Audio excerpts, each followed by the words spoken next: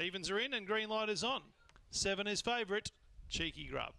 And away they go. Cheeky Grub was away speedily. Goes up in or near the lead with Snowbell, who's also into a forward position. Beast Riders up to third. On the inside, then comes Pimmy with Buck Barrow, Kingston Apache.